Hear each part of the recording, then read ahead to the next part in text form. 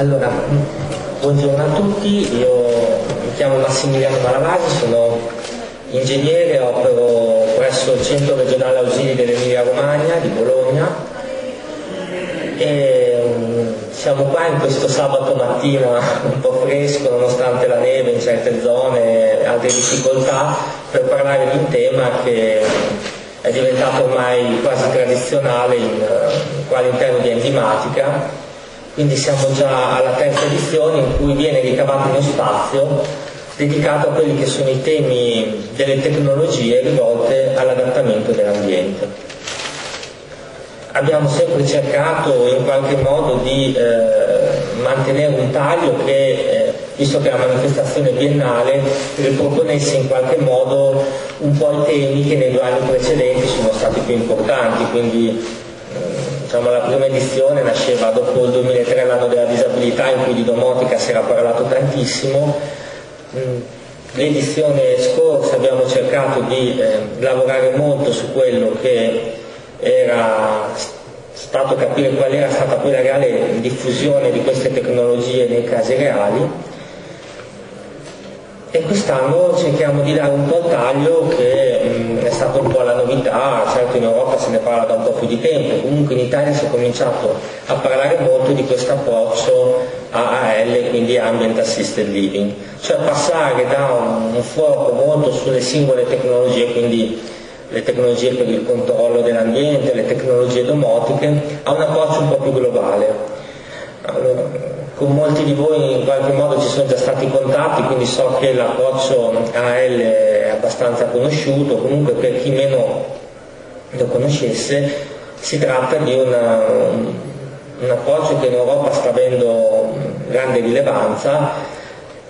perché? Perché ovviamente eh, a livello europeo sono molto preoccupati non tanto in un certo senso del, dei problemi legati alla disabilità ma quanto dell'invecchiamento medio della popolazione, quindi porterà ad avere sempre più persone anziane e questo in qualche modo viene associato a una condizione che oltre una certa età diventa critica. Ovviamente eh, in generale a parte queste preoccupazioni tra virgolette sociopolitiche, il concetto importante però che sta alla base è molto importante, direi quasi che si mm, sposa molto bene con l'approccio ICF e quindi se diciamo che la disabilità è legata sia alla persona ma anche all'ambiente, diventa interessante capire qual è il contributo dell'ambiente. L'approccio AL vedete proprio questo, quindi cercare di capire quanto l'ambiente invece di diventare un ostacolo, come sappiamo che purtroppo spesso è, invece di diventare qualcosa di neutro nei casi migliori, quanto riusciamo a farlo diventare un qualcosa di proattivo nell'aiutarci in ogni vita quotidiana, nella nostra vita quotidiana. È un altro aspetto molto positivo dell'AL che guarda molto in, in maniera molto ampia, quindi non si concentra su singole disabilità, eh, prendendo dentro il tema dell'età avanzata, parla ovviamente di quelle che possono essere le tante piccole e grandi difficoltà che ognuno di noi in qualche modo può, eh, può avere. E questo è un po' quanto. Colgo l'occasione anche per eh, in qualche modo lanciare,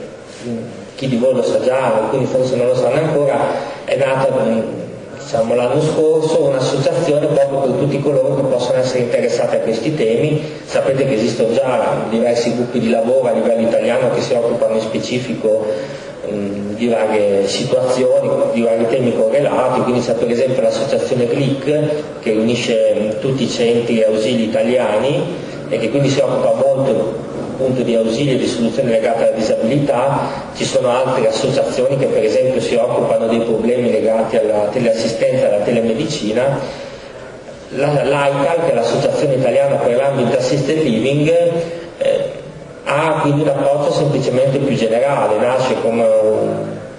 un, un, contenitore che serve soltanto in qualche modo per unire le forze, parlare, infatti poi l'obiettivo è quello anche di strutturarsi in maniera molto leggera e su base regionale, quindi chi poi fosse interessato, qua sul tavolo sono presenti alcuni volantini e brochure che spiegano in qualche modo qual è lo scopo dell'associazione. Eh,